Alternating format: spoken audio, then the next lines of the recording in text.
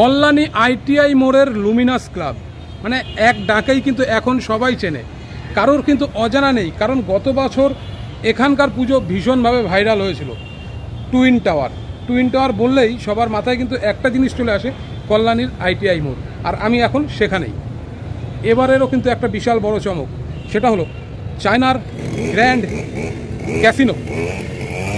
লিসবুয়ার অনুকরণেই কিন্তু তৈরি করা হচ্ছে সেই পুজো মণ্ডপ কল্যাণীর আইটিআই মোড়।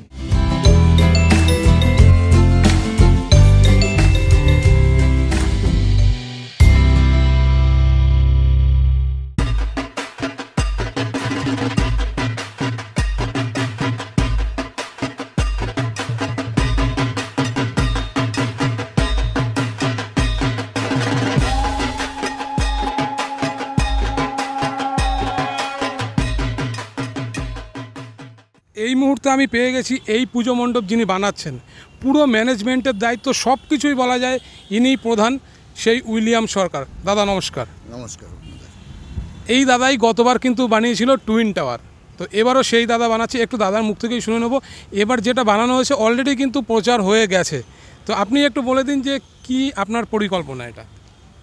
পরিকল্পনা কিছুই না পরিকল্পনা তো আমার যেটা বাস্তবে যেটা আছে কংক্রিটের চায়না গ্র্যান্ড বোয়া সেটা আমরা বাস্তবে রূপ দিচ্ছি। পরিকল্পনা এটাই যে গত বছর যে টুইন টাওয়ারটা আমাদের করা হয়েছিল, সেটা ভারতবর্ষের বিভিন্ন প্রান্ত থেকে বহু দর্শনার্থীর ঢল নেমেছিল। বহু দর্শনার্থী ভিড়ের চাপে দেখতে পায়নি। তার জন্য আমরা এবার পরিকল্পনা করলাম, ওই ধরনের একটা টাওয়ারের মধ্যেই রাখব যাতে সব দর্শনার্থীরা দেখতে পায়। আর গতবার কিন্তু একটু আমরা অসুবিধার মধ্যেও পড়েছিলাম পরবর্তী সময়ে। সেটার মাথায় রেখে এখন নতুন মানে অন্যভাবে তো পরিকল্পনা করা হচ্ছে প্রশাসনিকভাবে। হ্যাঁ প্রশাসনিক এবং কমিটি লুমিনাস ক্লাব এই নিয়ে তিনবার অলরেডি চক আউট করা হয়ে গেছে। যার জন্য এবার পরিকল্পনা অনেক আগে থেকে নেওয়া হয়েছে। এবার আমরা সিঁড়ি রাখছি না যাতে লোক অবাধে ঢুকতে পারে।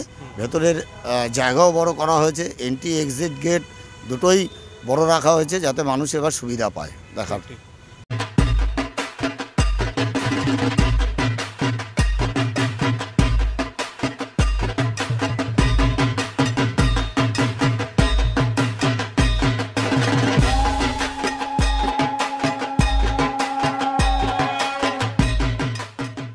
ভিআইপি পাশের ব্যবস্থা রাখছেন? হ্যাঁ ভিআইপি তো থাকছে। আচ্ছা। এবার একটু যদি এই মণ্ডপের হাইটটা এবং চওড়া মানে যেরকম ওয়াইড যেটা আছে চওড়া সেটা কীরকম একটু যদি বলে দেন। এটা চওড়া আছে একশো কুড়ি ফুট এবং উচ্চতা আনুমানিক আমরা একশো ষাট ফুট ধরেছিলাম কিন্তু আনুমানিক হয়তো একশো ষাটের উপরে উঠে যাবে। আচ্ছা এখনও তো দাদা আশি দিনের প্রায় কাছাকাছি বাকি আছে। তো আপনারা কতদিন আগের থেকে শুরু করলেন যে এখনই স্ট্রাকচারটা প্রায় দেখে মনে হচ্ছে রেডি হয়ে গেছে? না, আমাদের প্রায় আড়াই মাস কাজ হতে চলল এবং দিন রাত। আমাদের মহালয়ের মধ্যে আমাদের পুরো কাজটা সমাপ্ত করতে হবে, কারণ মহালয়, কি মহালয় পরের দিনই আমাদের উদ্বোধন, তার মধ্যেই কাজটা সমাপ্ত করতে হবে।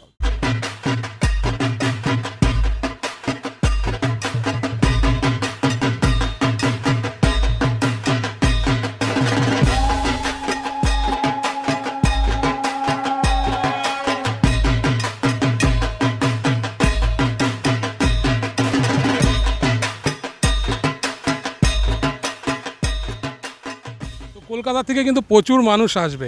আর কলকাতার দর্শকদের একটু কিছু বলুন যারা কলকাতা আমরা দেখে অভ্যস্ত তারা যেন এই দিকটায় আসি। হ্যাঁ কলকাতা দর্শকদের জন্য বলব যে আগে মফস্বল এরিয়া থেকে যেহেতু কলকাতা ঠাকুর দর্শন করতে এখন আপনারাও একটু আসুন মফস্বলে কী ধরনের প্যান্ডেল হচ্ছে।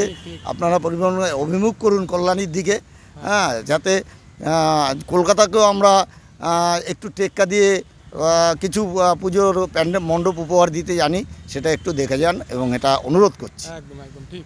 তো দাদার কথায় কিন্তু বেশ ভালো লাগল শুনে যে দাদা কিন্তু কনফিডেন্টালি বলল ব্যাপারটা। কারণ দাদা জানে যে এবার আগের বারের থেকে অনেক বেশি ভিড় হবে।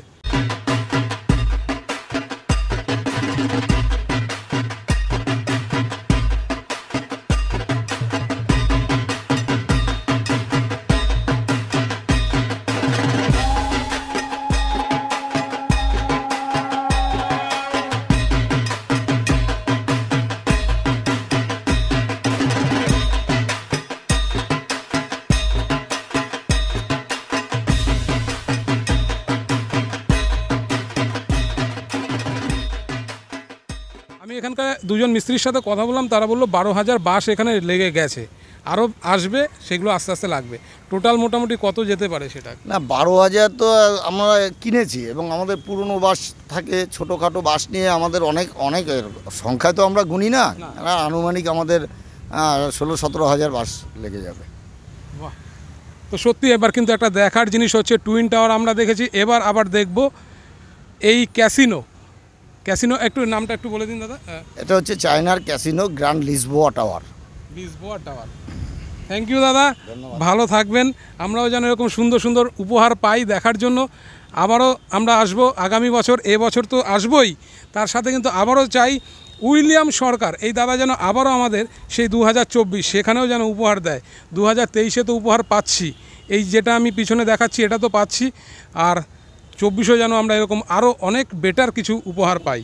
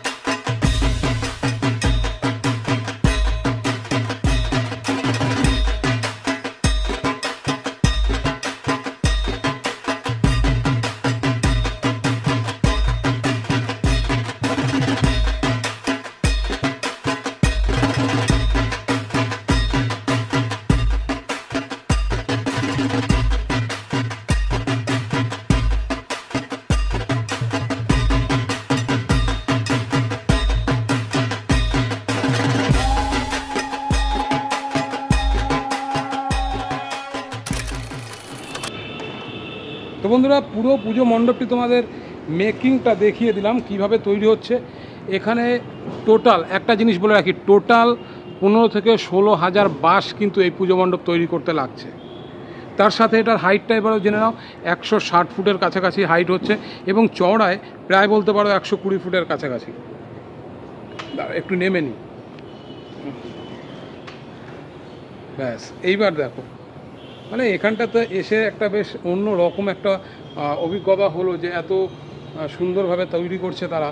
আর কতটা বড় প্রজেক্ট কত বড় মানে বিশাল বড়। তিন মাস ধরে কাজ হওয়া মানে চিন্তা করতে হবে যে হ্যাঁ জিনিস কি একটা বানাচ্ছে। এখনও কলকাতার অনেক বড় বড় পুজো মণ্ডপ তারা কিন্তু শুরু করেনি। যেখানে কল্যাণের আইটিআই মোড় স্ট্রাকচার তৈরি করে ফেলেছে বাঁশ দিয়ে।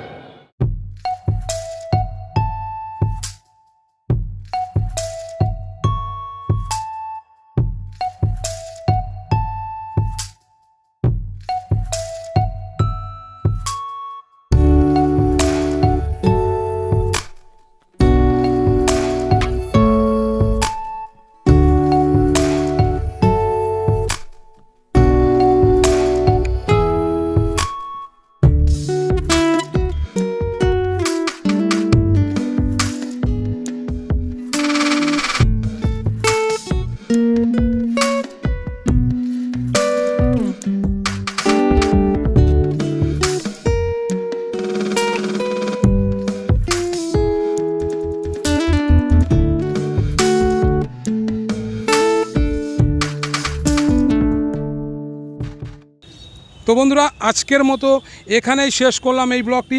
এরপর তোমাদের সাথে আবারও দেখা হবে অন্য একটি ব্লগে।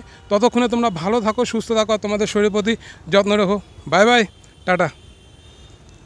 লাস্ট একবার দেখিয়ে দিই, এই হচ্ছে সেই টাওয়ার চায়নার গ্র্যান্ড ক্যাসিনো মানে এটা তোমরা যদি নেটে সার্চ করো, পেয়ে যাবে, সেটা দেখবে কীরকম দেখতে। এটাও ঠিক সেই রকমই তৈরি হবে গ্র্যান্ড ক্যাসিনো